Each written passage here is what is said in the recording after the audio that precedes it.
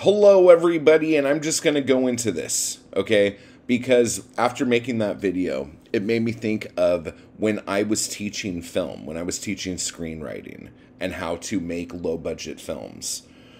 Like when you are the writer, you are the director, you are the producer, you are everything. There were three rules I had, okay? And the first one was write what you know. The second one is write where you live. Okay? And a lot of you might be going, why the fuck? Like, why would I do that? When you are a low budget filmmaker, you write what you have access to. You have no idea how many filmmakers. Okay, you got to understand too. I did not go to film school. Okay? I just started fucking making movies because I don't fucking wait for nobody. All right? But a lot of the people that worked for me as like the person who got my coffee, my PAs, my script supervisors, my um, my DPs, my ACs, my um, second unit people, my fucking um, my grips, my best boys, everybody. All of these motherfuckers went to film school. A lot of these motherfuckers graduated top of their class. One of these motherfuckers was a magnum cum laude from NYU. And he was fucking my assistant. I had no education. Now you might be thinking, who fucking cares? What's the big deal?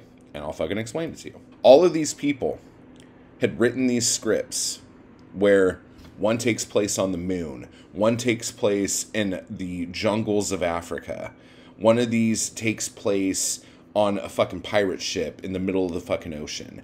Yada, yada, yada, yada, yada. Okay? My scripts took place in suburbia. My scripts took place in the city. My scripts took place in a single room. Okay? Now, some of you might be saying, well, that's not that exciting. It's not that exciting. But you know what ended up happening? I ended up making movies, and they have not. Still. Most of them to this day have never fucking made a film because they write these big, ridiculous scripts that they hope will sell. But here's the thing if those scripts sell, chances are they're not going to be the ones directing them because they have no directing credits. So, what's the fucking point? So, write, if you're wanting to make a film, write where you fucking live. Write something that you can fucking do immediately. Do you see what I'm saying? Do you have any experiences like this? Now, if if we're talking like fiction and we're talking about short stories and all this other stuff, you can definitely write wherever the fuck you want.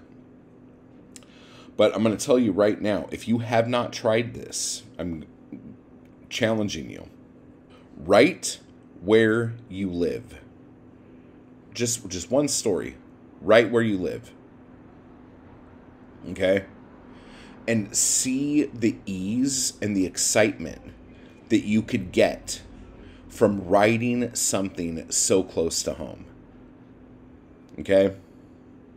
So, if you haven't joined the Anarchy Crew yet, click the join button down below.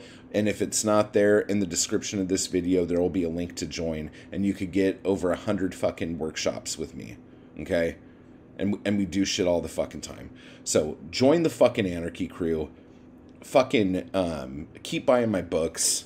Type fucking hard, and there's gonna be more of these little write where, or write what, or write how, or whatever.